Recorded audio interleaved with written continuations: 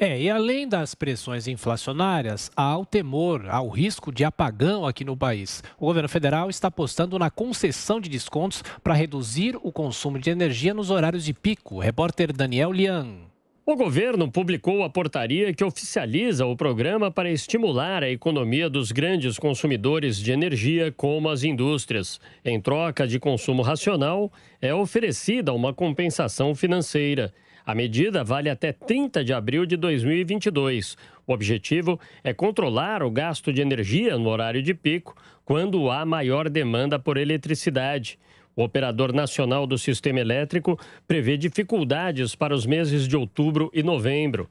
Os principais motivos são o início da onda de calor, quando se consome mais energia, a recuperação econômica que leva as empresas a produzirem mais e a crise hídrica que esvaziou os reservatórios das hidrelétricas. Com todos esses fatores, aumenta o risco de sobrecarga no sistema, deixando o país mais vulnerável a blackouts pontuais.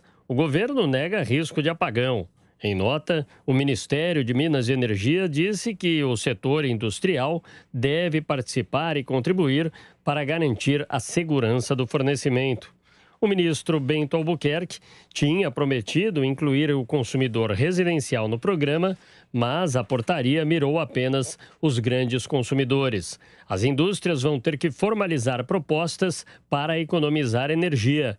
A empresa se compromete a cortar o consumo e negocia o valor de desconto para as metas por dia de semana e localidade. Cada proposta pode ter validade de um a seis meses. Excepcionalmente, o prazo pode ser menor. As empresas terão que cumprir ao menos 80% da meta estabelecida. Cerca de 1.100 companhias estão aptas a aderir ao programa.